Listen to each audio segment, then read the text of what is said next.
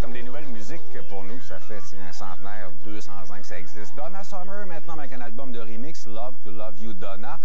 Elle doit se retourner dans sa tombe. C'est une méchante compilation plate.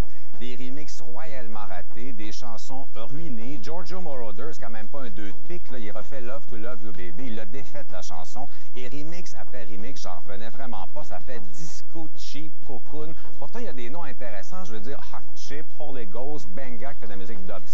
Ne pas trop trop quoi faire. Je pense qu'il aurait dû carrément demander à David Guetta de faire des remixes. Ça aurait peut-être été un peu moins supportable. Les deux passables, il y a Hot Stuff et MacArthur Park, qui est vraiment réussi en tech house par le néerlandais Les Baclou, comme cote un 5 sur 10.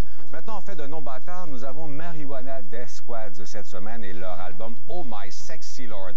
Un trio de Minneapolis actif depuis une couple d'années euh, avec comme leader M. Ryan Olson, qui est le réalisateur et le compositeur de Polissa, qui est à Montréal, mais ça n'a aucun rapport avec la Moi, je pensais aimer ça. Le son, c'est de la batterie. Une tonne de batterie. Il y a beaucoup de batteurs sur l'album.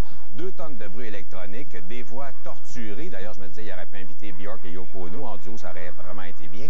Et le vocal est quasiment toujours pareil un peu. C'est basé sur l'improvisation. D'après moi, c'est plus en spectacle, ça doit être intéressant. Des fois, ça s'approche d'une composition, mais la mélodie, c'est vraiment pas important pour eux autres. C'est un peu tiré par les cheveux. Quand c'est bizarre pour être bizarre et gratuit, comme quand un 6 sur 10. Un extrait de Scheme. Bonne chance.